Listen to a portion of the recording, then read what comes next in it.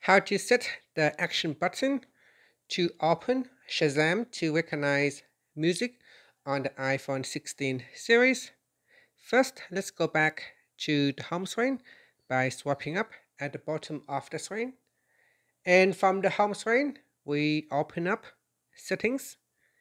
Then in the settings page, scroll down and then tap on action button Next, in here, swipe across until you can find where it said recognize music.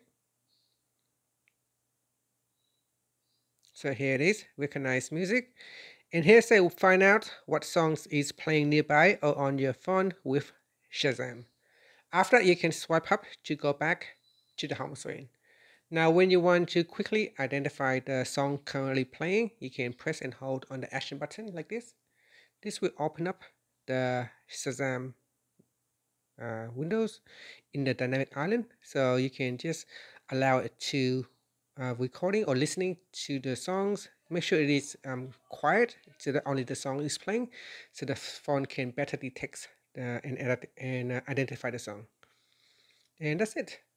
Thank you for watching this video. Please like and subscribe to my channel for more videos.